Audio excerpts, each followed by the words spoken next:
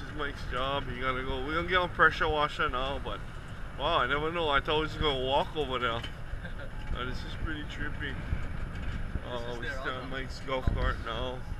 And this is uh, the other, oh, the cottage you was talking about. Oh, nah. So this is uh, the cottage that's owned by the same person uh, in the house that we were at way down there. I guess, um, wow. So this is the cottage now. So this is the one you only do the spring.